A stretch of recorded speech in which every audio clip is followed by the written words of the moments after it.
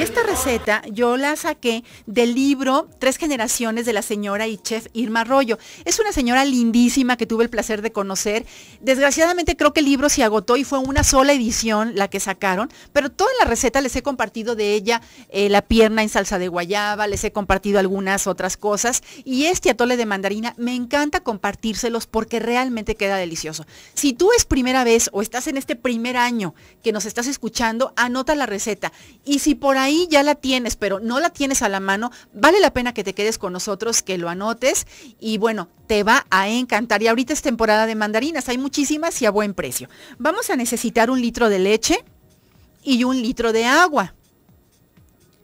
Taza y media y hasta dos tazas, ¿por qué no?, de jugo de mandarina recién exprimido.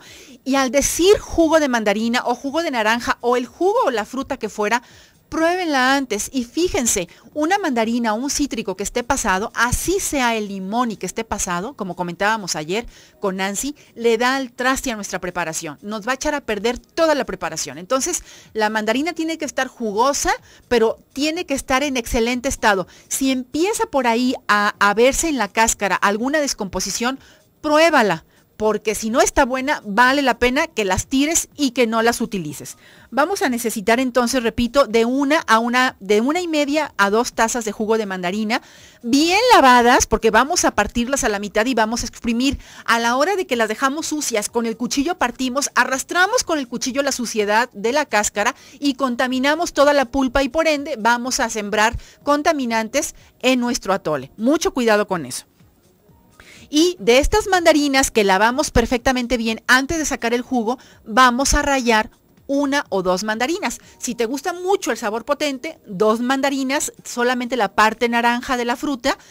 En Estados Unidos las conocen también como ay, se me fue clementinas, eh, también les dicen tangerinas. Entonces, bueno, es esta fruta naranja jugosa, muy, muy buena. Nosotros las conocemos como mandarinas y bueno, espero que las tengas. Yo sé que en Estados Unidos las venden porque las he visto. Un cuarto de kilo de masa, de masa que vas al molino y compras para hacer tortillas, un cuarto de kilo. Una taza de azúcar, una raja, más o menos de 10 centímetros de canela, porque no quiero que la canela sea la la, digamos, la anfitriona del atole es la mandarina y una pizca generosa de bicarbonato. Esto es, en vez de tomar con dos dedos, vamos a tomar con cuatro dedos o hasta con los cinco dedos. Una pizca generosa de bicarbonato. Repito ingredientes. Un litro de leche, un litro de agua, de una y media a dos tazas de jugo de mandarina y ahí ya vamos sobre dos litros y medio.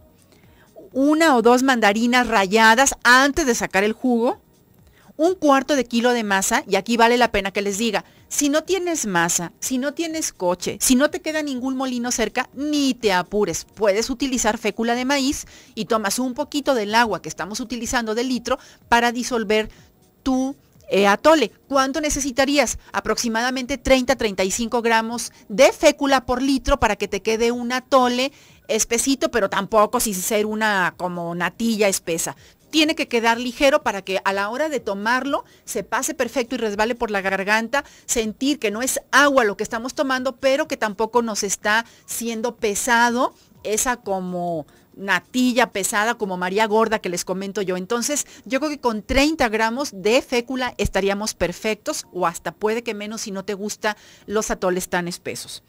Siempre podemos poner más, y poner menos, se, digamos, para quitar, si nos pasamos y lo dejamos muy espeso, tendríamos que añadir o leche o agua o más jugo y ya nos va a cambiar la consistencia y el sabor. Se va a inclinar la balanza a un lado o a otro. Hay que tener cuidado con eso. Repito entonces, un litro de leche, un litro de agua, de una y media dos tazas de jugo. Antes de eso rayamos una o dos mandarinas. Yo les recomendaría rayar dos mandarinas, un cuarto de kilo de masa o en su defecto 30 gramos de fécula, cuando más, por litro, una taza de azúcar. También vamos a endulzar al gusto, pueden añadir más, una raja pequeña de canela y pizca generosa de bicarbonato. Vamos a hervir agua, azúcar y canela. Cuando empiece a hervir, al decir vamos a hervir, tiene que hervir. No nomás es decir, ah, bueno, ya lo puse a calentar, ya le voy a echar lo que sigue. No. Vamos a hervir agua, azúcar y canela. El azúcar para que se disuelva y endulce el, el, líquido. La canela para que suelte y sea una infusión realmente para que se hierva y suelte su sabor. Cuando empieza a hervir, se añade la masa que vamos a disolver con un poquito de agua.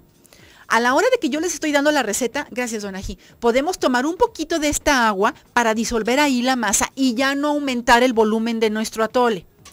Disolvemos con una mano perfectamente bien lavada en una taza de agua, bien, bien disolvemos la masa, pellizcándola y vamos a colar sobre nuestro atole que está apenas, o sea, está hirviendo, pero acaba apenas de empezar a hervir. Entonces, añadimos nuestra masa que ya está bien disuelta y colada y empezamos a mover con pala de madera siempre para el mismo lado.